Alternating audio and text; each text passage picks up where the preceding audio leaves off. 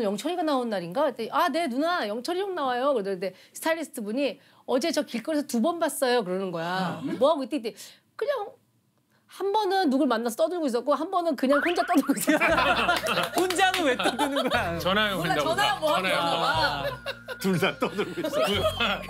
둘 다 떠들고 혼자도 떠들고. 아 근데 진짜 너 어디 이렇게 아 돌아다니는 어디? 그렇게 돌아다녀? 매, 나도 매번 봐. 옛날에 뭐 청담도 누가 미용실에서 봤다고 그러는데 서장훈 씨도 넌 청담동 왜 자꾸 돌아다녀? 음. 집이 청담동이에요. 했던 집 앞을 다니는 건데. 그냥 집 앞을 저 계속 돌아다녀요. 아니 같은 아파트 살았잖아 나랑 영철이 오빠랑. 근데 아, 영철이 오빠가 이제 돈도 많이 줬지만 어느 순간 이제 피곤함을 느껴가지고 내가 오, 오빠한테 얘기 안 하고 이사를 갔거든. 이사를 갔거든. 나한테 이사를 하라고 한 거야. 그거는 누나 형 반칙 아니야? 아니 영철이가 너 택배도 많이 받아줬는데 왜? 야, 뭔 얘기야? 아, 나 진짜 잠깐 오빠. 이게 뭔 오늘 얘기야 갑자기? 오빠 뭐 마산에서 뭐 올라오니까 그 아이씨 그거 약간 생선이고 그러니까 좀 받아주면 안 돼? 어 알았어 수아. 받아. 어떻게 우리 냉장고 일단 넣으면 되지. 오케이 오케이. 해주고 다 해주고. 진짜 진짜 이웃 주민. 어. 뭐 수기 급하면 우리 집에 오고. 나 우리 같이 보기도 근데 하고. 이런 건 좋은데 했어요. 가끔 전화가 와요. 전화가 와서 전화 받으면 수가 불 켜져 있는 너네 집. 어. 무서워. 그 창문 열어봐. 왜? 열어봐 빨리. 열면 저 밖에서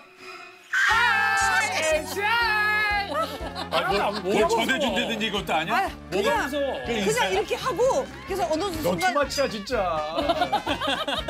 그래서 내가 피곤함을 느끼고 이사를 에휴. 몰래 오빠한테 얘기 안 하고 이삿짐을 옮기고 있었어. 어. 근데 그 이상한 느낌 알아? 8층이었는데 누가 지켜보는 것 같은. 창문 가에 뭐가 있을 것 같은 느낌이 있는 거야. 그래서 어, 슥 봤다 하더니 김영철이 짐 내리는 걸 보고 있더라고. 이삿날 이삿날. 사다리처럼 사다리처럼 짐 내리는 걸 보고 아 있어. 정말.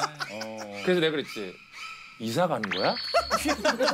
말도 안 하고 말도 안 하고. 들켰어. 그걸 들켰어. 그렇게 물건 받아달라고 그러더니. 야 이게 뭐야 했더니 아이씨 아이 확 들켰네 씨 몰래 이사 가려고 했는데 지금 아니 왜냐면 8층에서 그 무슨 무슨 차지? 사다리차. 내가 계산해 보면 수위가 10 하나 둘 몇 수비집이거든. 야, 이- 들켰어. 나 윗집에 누가 이사 왔는데 너 이사 가는 거니? 아나 너무 실망했지. 몇 년을 그렇게. 진짜 코미디상이구나. 어 진짜. 11시고 12시고 집 앞에서 울고 막 보고 그래서 해다가. 나 너무 무서워서 그 장면 찍어놨잖아. 영철이 오빠가 보고, 우리 집 보고 있는 거.